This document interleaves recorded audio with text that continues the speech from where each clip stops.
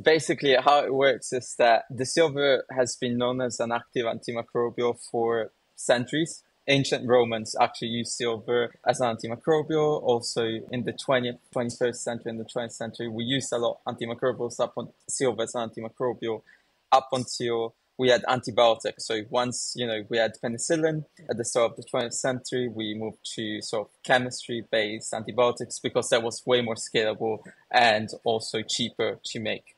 So how it works is pretty much like an antibiotic. It kills the bacteria, it kills the molds, same sort of principle of how it works, and therefore it helps extend the shelf life. But the cool bit is, is that it's in the packaging, not on the food itself.